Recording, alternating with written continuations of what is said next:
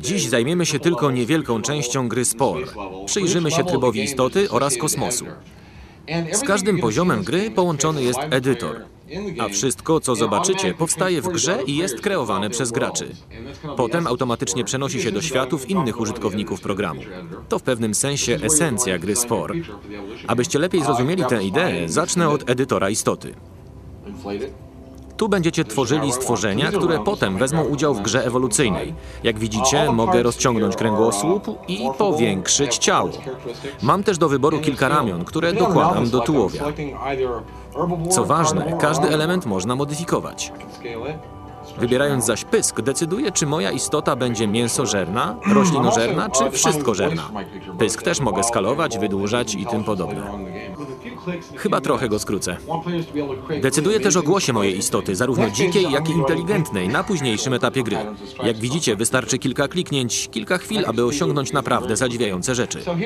Tym bardziej, że istotę możemy bardzo szybko pomalować, wybrać paski czy centki. I tak oto wykreowałem w pełni wymodelowane, oteksturowane stworzenie, które następnie wykorzystuję na poziomie istoty. W trybie stworzenia mamy do czynienia z kreacjami innych graczy.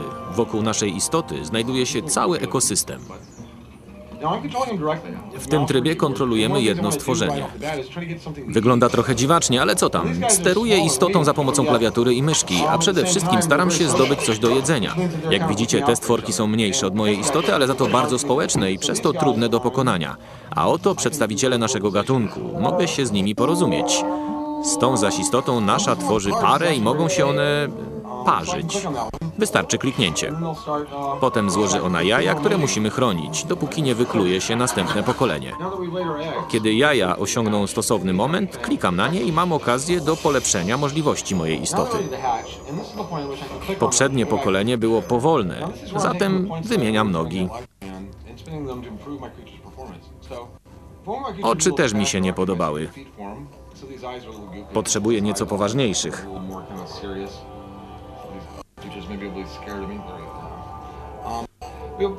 Liczymy na to, że wielu ludziom sprawi ogromną przyjemność częste powracanie do edytora. Oto przedstawiciel następnego pokolenia, którym bym się zajmował. Ale zajmę się czymś innym, mianowicie miastami. Mamy bowiem edytory budynków i nie tylko. A zatem kolejny wymiar gry przypomina nieco SimCity. Tyle, że tu każda budowla będzie jedyna w swoim rodzaju. Nadto wszystkie edytory są bardzo podobne, więc łatwo je opanować. Łącznie z choćby edytorem pojazdów, za sprawą których miasta wchodzą ze sobą w interakcję. Widzicie właśnie tę samą planetę zamieszkaną przez ten sam gatunek, jednak na późniejszym etapie rozwoju. Cywilizacja jest już globalna, bardziej zaawansowana. Oto zaś moja stolica. Klikając na ten budynek wejdę do menu UFO. Oto statki opracowane przez innych graczy. Mogę wybrać jeden z nich lub skorzystać z edytora i skonstruować jakiś od podstaw. UFO to bardzo potężny element gry, pozwalający dokonać wielu uzupełnień i wzmocnień. Łatwo się takim statkiem poruszać i zwiedzać miasta, które zbudowaliśmy w trybie cywilizacji. Tu widać jeden z licznych przykładów. Można też zacząć życie na innej planecie. W tym celu pobieramy próbki z naszego ciała niebieskiego. Rozmnożą się one na innej planecie. Przy okazji można się też nieco pobawić. Możemy wreszcie oddalić się i zobaczyć całą planetę. Póki co gra toczyła się na powierzchni tej właśnie planety. Jednakże oddalając się odczujemy głębie całości. Wreszcie zobaczymy cały układ gwiezdny. Oto nasza gwiazda i planeta ojczysta.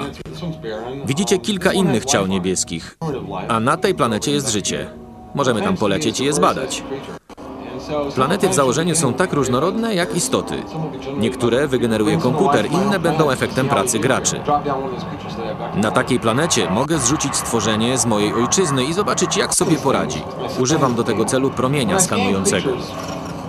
Mogę za jego pomocą również zebrać dane o rdzennych mieszkańcach tej planety. W efekcie trafią one do mojej encyklopedii. Znajdzie się w niej wszystko, na co natrafi gracz w trakcie rozgrywki. Są tu gwiazdy, a klikając na nie uzyskamy informacje o planetach. To moja ojczysta planeta. Możemy zobaczyć, jakie istoty na niej żyją. Wszystko ma swoje statystyki, każda istota. Co ciekawe, karty, które widzicie, można też wykorzystać w karciance. Co jeszcze ciekawsze, uzyskujemy informacje zwrotne o tym, jak często wykreowaną przez nas istotę wykorzystywali inni gracze, ile razy trafiła do innych uniwersów. To coś na kształt konkursu popularności. My jednak przejdziemy do innego tematu. Oddalając się od tej planety, jeszcze bardziej trafimy w przestrzeń międzygwiezdną. Widzicie kilka tysięcy gwiazd wokół mojego ojczystego Słońca. Są tu też przeróżne ciała niebieskie i obiekty takie jak czerwone karły, supernowe czy czarne dziury. I z wszystkim tym możemy wchodzić w interakcję. O, tu jest ciekawa gwiazda. Zbadajmy ją. Jedna z rzeczy, które możemy robić, to budowanie kolonii. Jeśli je odpowiednio rozwiniemy, nasze UFO wiele zyska. A tu widzimy planetę bardzo przypominającą Ziemię przed milionami lat. To gorąca wulkaniczna skała. Bardzo trudna do terraformowania. Jest po prostu blisko gwiazdy. Ale oto dlaczego się tu znalazłem. Czasem na takich planetach uda się coś znaleźć. To swego rodzaju artefakty. Możemy je zabrać na statek. Po jakimś czasie okaże się, co to takiego. Czy to jakaś broń, czy może przydatne narzędzie. Jeśli będziemy chcieli i zdarzy się okazja, wymienimy się na taką zdobycz z inną międzygwiezdną cywilizacją. A oto planeta stworzona przez innego gracza, którą na moim komputerze steruje program. Co sympatyczne, sposób toczenia rozgrywki przez oryginalnego gracza wpływa na zachowanie istot na innym sprzęcie. To coś na kształt wychowania. Mieszkańcy tej planety mogą być pokojowo nastawieni albo agresywni, albo mogą lubić handlować. Zobaczmy, jak te istoty zareagują na fajerwerki. Chyba zrobiły na nich wrażenie. Wpłyną zapewne na nasze stosunki. Efekty mogą być różne, ale w tym wypadku mieszkańcy postanowili oddawać im cześć. Ciekawe jak zareagują, gdy spróbuję zabrać ze sobą któregoś z nich. O, chyba im się nie spodobało. Jak widać zrobiło się dość niemiło. Muszę otworzyć panel broni. Ciekawe jakie mają systemy obronne. Widać, że się odgryzają. Wygrywam, więc zaczynają panikować.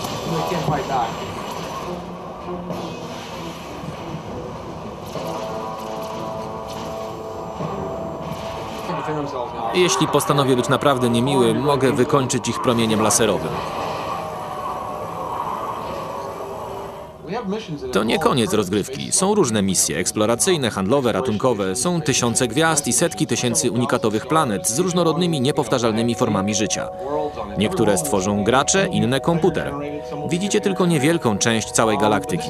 Tak naprawdę są tu miliony światów, bowiem chcemy mieć miliony graczy, którzy będą wspólnie tworzyć to uniwersum. I tak oto poznaliście esencję gry Spore.